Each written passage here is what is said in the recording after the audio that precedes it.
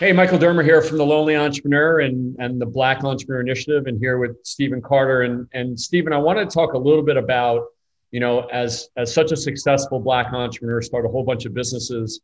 Um, you know, uh, so many Black entrepreneurs you hear don't have access to uh, the networks they need, the mentors they need, the co-founders they need. Um, and you have so much of a unique situation because of you know basically co-founding with your brother. But can you tell me a little bit about your journey? Were you looking for a co-founder in general? Was it something that you and you, your brother did together? And what were some of the challenges, you know, being a black entrepreneur and trying to think about how do you evolve your business with a founder? Yeah, so you know, I think um, going into business with anyone is is a very is a huge challenge, right? I mean, one, it's almost like getting married to someone, right? Yeah. You got to pick totally. the right partner. Um, you got to weigh, weigh, weigh, the pros and cons, the strengths and weaknesses. Um, it is it needs to be someone that you can trust. And obviously, you know, going into a business with someone when you're not making any money, everything is great. Yeah, when yeah, you start right. making a little money, things start to change. So uh, establishing frameworks up front is, is essential. Um, you know, as you mentioned, Michael, as you know, I, I, went into business with my brother, my twin brother, on top mm-hmm. of that. Um, yep. And so, even, but even with that, to be quite honest, we respect each other enough so that when he brought to me the idea of this, this, the vision of this business, and I actually was kind of the financier in the, in the, the front stages, I still looked at the business just like I would any other business, or just like if someone else off the street came to me and said, I have a business idea. I still wanted to go through the business plan. I still wanted to look at the pros and cons, wanted to study the market, I wanted to make sure it was viable and all of that. and, and believe it or not, even with us being family members, um, and I definitely would recommend this, um, we still we still signed a partnership agreement. We yep. still had an understanding on paper, in writing, of what our relationships were going to, our um, our uh, partnership agreement would be. Yep. Um, and then as we started to get into the business, we learned very quickly that we had to um, figure out a way to delineate the roles and responsibilities so that we yep. would not step on each other's toes. Mm-hmm. So, you know, a lot of people now like to say, stay in your lane, right? So we were, yep. we, we yeah, designed yeah. our lanes so that we could stay in our lanes. And, and as we kind of looked at the pros and cons, the beauty of it was that going into healthcare. My mm-hmm. brother uh, is a doctorate in physical therapy, right? So clearly he's a clinician. He understands how to provide top care. He's he's one of the best people that I know in his craft. So easily, uh, from an operational standpoint, he understands.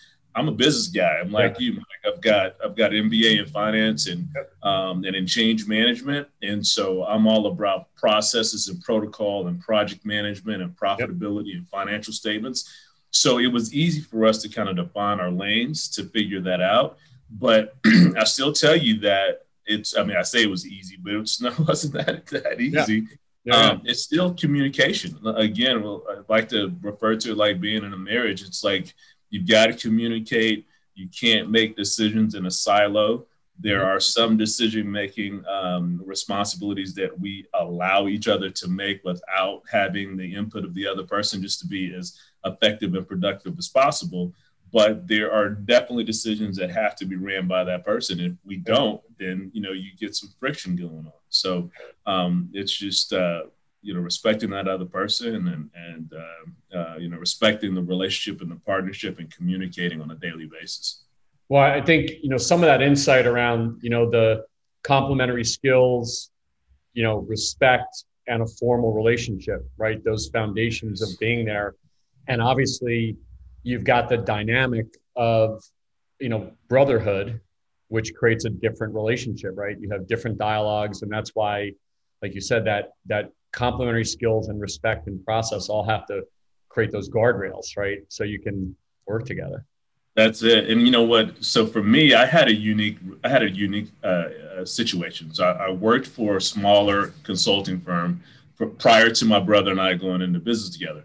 Um, there were three founders for that firm, and uh, they went through a very, very nasty um, kind of split towards the end of that that company.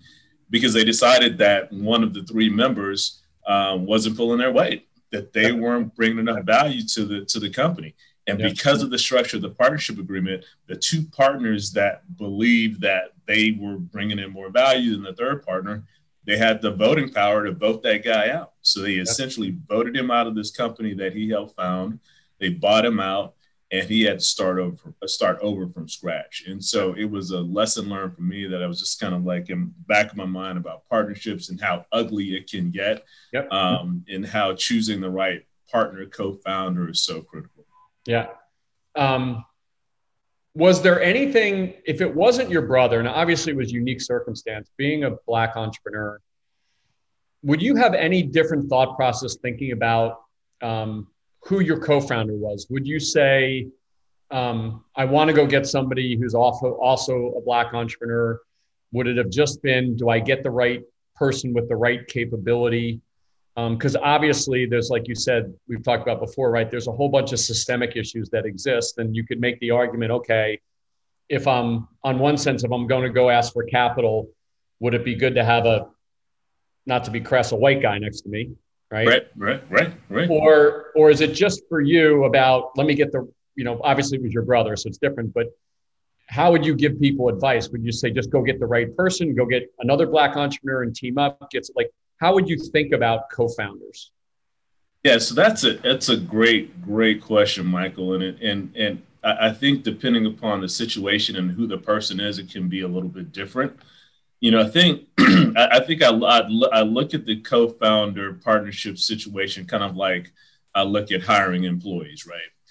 When I hire on employees with our team, we want best in class. Everyone yep. wants the, the, the, the quote unquote best in class, but best in class may not fit within your culture, within the environment or the, the yep. type of uh, atmosphere you'd like to present. So at the end of the day, um, you want the best person that fits with your personality and your skill set.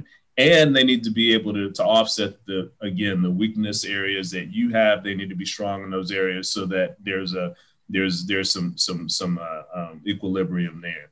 But I, I, would say that at the end of the day, the big thing for me is that do I have someone who is passionate and is going to work as hard or harder than I am? Yep. Because when you're starting starting up a business, the most important thing is work ethic. You know, the most important thing is grinding it out and getting it in. And so I'll, I'll take someone who who can work hard um, over someone who's really smart any day, just because sometimes it's you know smart just doesn't win the battle every time. You know, if, if, if you can sell the, if you, you've got to be able to sell your story, your business, not only to yourself and your family, but to others and to your employees. Yep. So you've got to be passionate enough about your vision that you can do that. So that kind of passion and work ethic yep. is something that is high up on the totem pole for me in terms of co-founders. To, to your question about whether or not they need to be white, black, whatever, um, there's a trust factor that needs to be in place, whether or not that person is, you know, whatever color under the rainbow yeah. or what have you. That's that's uh, what you need to worry about. I mean, one of the things that I mean, the things that you don't even think about, right, as you think about co-founders and partnerships. And I think about, I've thought about this with my brother. So if anything ever happened happen with him, his wife takes over the business. If anything yep. happens with yep. me, my wife takes over the business. So yep. those are other things that you have to think about. What happens if something that goes on with your, your co-founder, your partner, who are yep. you going to be in partnership with? How is that going to look? So there's so many things to take into consideration. And honestly, when you're first starting off, that that's not in your mind. You, yeah, yeah right. think about those things yeah. later on.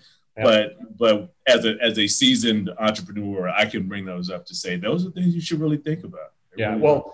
it's interesting, right? Because there's these systemic issues like when we go to when we're thinking about raising capital, but you know what you're saying is that the foundations of trust complementary skills good legal agreement they run across the board right? Whether you're white black green or purple right? Um, and if you get those things in place that's you have a better chance of uh, chance of success. Awesome awesome insight. Obviously you've created incredibly successful businesses with your brother lots of them um, and so you've made really made it work. So it's a great example. And plus you're twins right? Which we I'm sure we could riff on that for a, a absolutely, absolutely. So, uh, awesome stuff. Thank you very much.